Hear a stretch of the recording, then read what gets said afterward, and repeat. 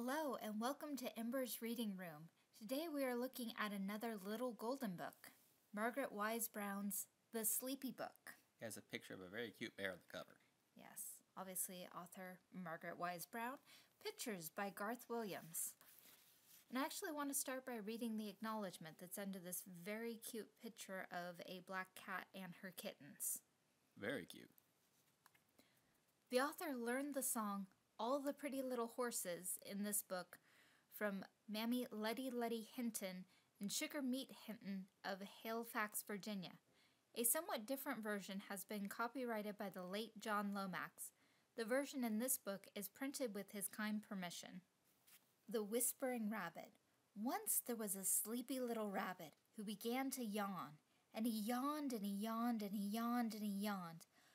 Hmm. He opened his little rabbit mouth when he yawned till you could see his white front teeth and his little round pink mouth. And he yawned and he yawned until suddenly a bee flew into his mouth and he swallowed the bee. Ouch. Hoo hoo, said a fat old owl.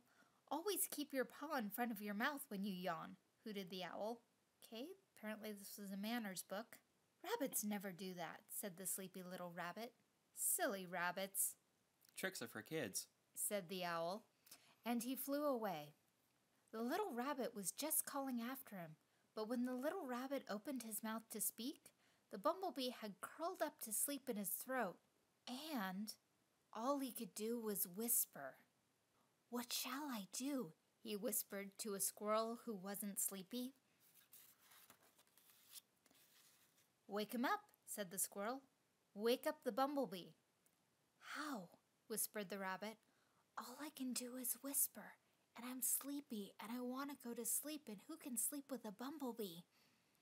Suddenly, a wise old groundhog popped up out of the ground. All I can do is whisper, said the little rabbit. All the better, said the groundhog. Come here, little rabbit, he said, and I will whisper to you how to wake up a bumblebee. You have to make the littlest noise that you can possibly make, because a bumblebee doesn't bother about big noises. He is a very little bee, and he is only interested in little noises. Like a loud whisper? asked the rabbit. Too loud, said the groundhog, and popped back into his hole. A little noise, whispered the rabbit, and he started making little rabbit noises. He made a noise as quiet as the sound of a bird's wing cutting the air. But the bee didn't wake up. So the little rabbit made the sound of snow falling, but the bee didn't wake up. So the little rabbit made the sound of a bug breathing and a fly sneezing and grass rustling and a fireman thinking. Still, the bee didn't wake up. So the rabbit sat and thought of all the little sounds he could think of. What could they be? What could they be? Also, just for reference, all the whispering written in the book is in a much smaller font. Hmm. Very handy, that.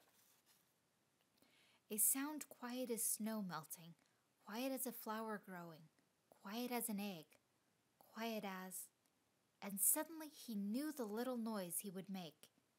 And he made it. It was like a little click made hundreds of miles away by a bumblebee in an apple tree in full bloom on a mountain top. It was the very small click of a bee swallowing some honey from an apple blossom. Don't bees normally make honey? Wouldn't it be nectar? Yeah, good point there. And at that, the bee woke up. He thought he was missing something, and away he flew. And then what did the little rabbit do? That sleepy, sleepy little rabbit. He closed his mouth, he closed his eyes, he closed his ears, and he tucked in his paw, and twitched his nose, and he went sound asleep. Rabbit poem. Nobody knows a rabbit's nose, the way it twitches, the way it goes, constantly on his face. Nobody knows a rabbit's ears, the way he listens and what he hears, and his sad little rabbit tears. Nobody knows a rabbit's eyes, red as rubies without surprise, in his square fur face. Ah, all the pretty little horses. I remember reading this as a whole separate book. Hmm. Go to sleep, go to sleep, go to sleepy little baby. When you wake, you shall have all the pretty little horses. black and bay, dapple and gray, all the pretty little horses. Mother loves you, daddy loves you, everybody loves baby. The butterflies and the flies are buzzing round your eyes, so go to sleep, little baby. And after you sleep, I'll give you a jeep. Go from horses to jeeps. And all the pretty little horses, black and bay, dapple and gray, all the pretty little horses. Mother loves you, daddy loves you, everybody loves baby. And the music is actually written here in the book. Ah, Unfortunately, I don't remember how to read music, and I don't really feel like singing right now. yep. Well, you can find it in the book yourself if you decide to pick up a copy, or, you know, it's probably in a library somewhere. Yes, and I'm sure that there are plenty of recordings out there of people singing this lullaby. Hmm. But moving on, close your eyes. Little donkey on the hill, standing there so very still, making faces at the skies. Little donkey, close your eyes. Silly sheep that slowly crop, night has come and you must stop, chewing grass beneath the skies. Silly sheep, now close your eyes. Little monkey in the tree, swinging there so merrily, throwing coconuts at the skies. Little monkey, close your eyes. Little birds that sweetly sing, curve your heads beneath your wing. No more whistling in the skies. Little birds, now close your eyes. Little horses in your stall, stop your stomping, stop it all. Tails stop switching after flies. Little horses, close your eyes. Little pigs that snuff about, no more snorting with your snout, no more squealing to the skies. Noisy pigs, now close your eyes. Old black cat down in the barn, keeping four black kittens warm. Winds are quiet in the skies. Dear old black cat, close your eyes. Yep, and there's the black cat and her kittens from the beginning of the book. Mm-hmm. Nice for use of artwork. Little child all tucked in bed, looking like a sleepy head. Stars are quiet in the skies. Little child, now close your eyes. Little donkey, close your eyes. Silly sheep, now close your eyes. Little monkey, close your eyes. Little birds, now close your eyes. Little horses, close your eyes. Noisy pigs, now close your eyes. Dear old black cat, close your eyes. Little child, now close your eyes. Going to sleep.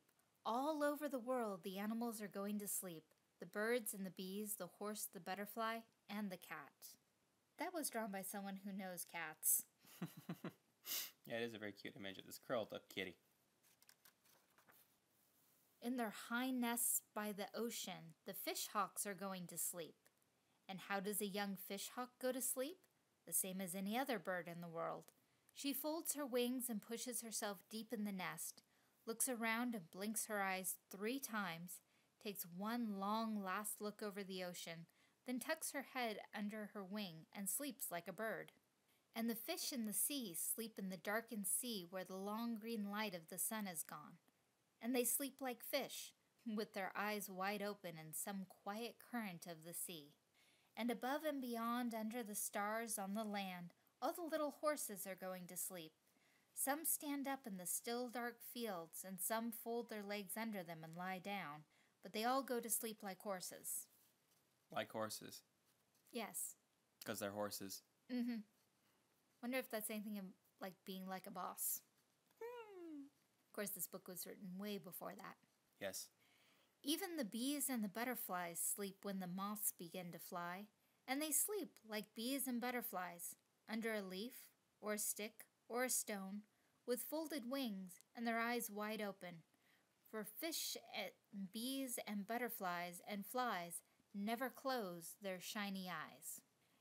And the old fat bear in the deep dark woods goes into his warm cave to sleep for the whole winter. And there's the bear from the cover. Yep.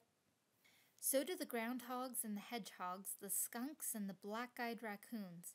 They eat a lot, then sleep until spring, a long, warm sleep. Hmm. This seems like one you, that you use to get the kids to go to sleep. Mm-hmm. Hopefully, our listeners are still awake. I hope. I almost fell asleep. If you notice, Lux didn't have a lot of commentary this time. I think I was starting to hypnotize him. yeah, maybe. I don't know. I'm awake, I think. And this has been another segment of Ember's Reading Room. Hope you've enjoyed listening. If you did, please check out other Ember's Reading Room entries. You can look around and check out other videos on our channel.